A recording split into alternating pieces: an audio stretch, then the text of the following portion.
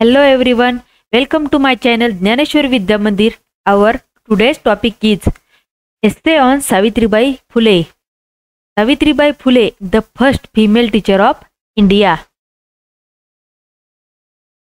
First woman teacher of India, built India's first all-women's school, built a well in her home for untouchables, took care of child widow. Savitribai Phule was the first female teacher of India. She is also known as the revolutionary feminist icon. Savitribai Phule was born on January 3, 1831 in the village of Naigaon in Satara district in Maharashtra state. She was born in a farming family. Her father, Khandoji Nevashe Patil, was a farmer.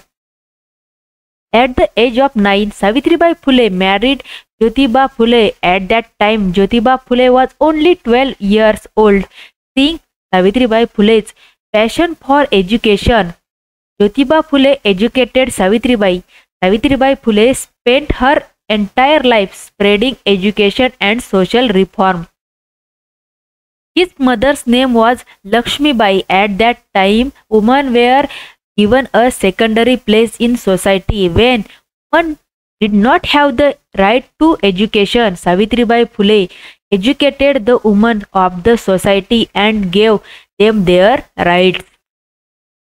On January 1st, 1848, she started the first school for girls with the help of Jyotiba Phule. He continued his social work without fear of opposition from society.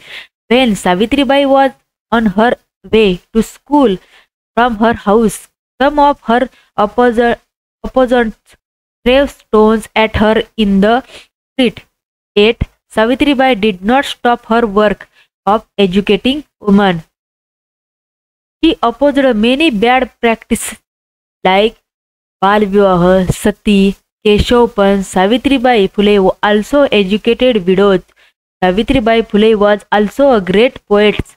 She has written famous poems like Bavan Kashi Subodh Ratnakar. In his life, even today, Savitribai Phule is respected in our society. Savitribai Phule's thoughts inspire women in today's society. Many girls' schools in India are named after Savitribai Phule. Every year, Savitribai Phule's birthday is celebrated with great enthusiasm all over India. Many cultural events are held on his birthday. The image of Savitribai Phule is worshipped in every government office and school and her work is glorified. Thank you for watching.